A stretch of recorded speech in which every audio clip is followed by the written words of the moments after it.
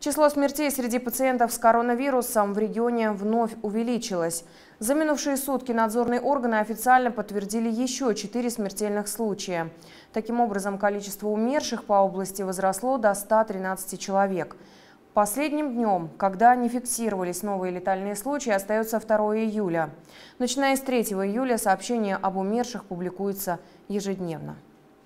Впервые за последние несколько недель количество новых случаев заболевания COVID-19 в регионе не превысило четырех десятков.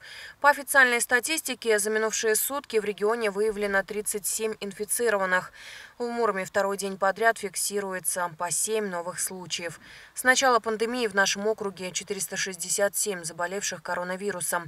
Из них 338 человек или 72% с недугом справились. 60 пациентов находятся на лечении в инфекционных госпиталях.